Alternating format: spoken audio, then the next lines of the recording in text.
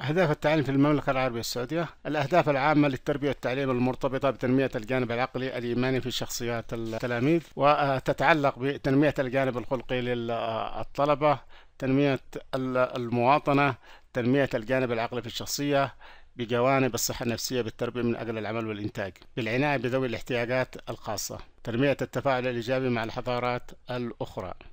أهداف التعليم الابتدائي وهي القاعدة التي يرتكز عليها إعداد الطلاب للمراحل التالية من حياتهم وهي مرحلة عامة تشمل أبناء الأمة جميعا وتزودهم بالأساسيات من العقيدة الصحيحة والاتجاهات السليمة والخبرات والمعلومات والمهارات.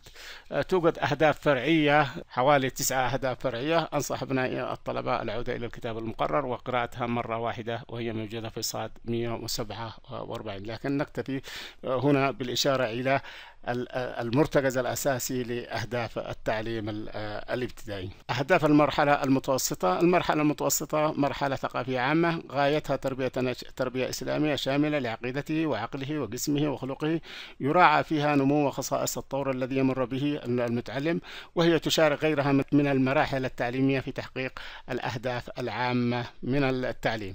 وهناك أهداف تفصيلية أكثر من عشرة أهداف حوالي عشر أهداف. أرجو من أبناء الطلبة العودة إلى هذه الأهداف وقراءتها مرة واحدة لكن هنا سنهتم بشكل أساسي بالغاية الأساسية من أهداف أو المرتكز الأساسي لأهداف التعليم المتوسط.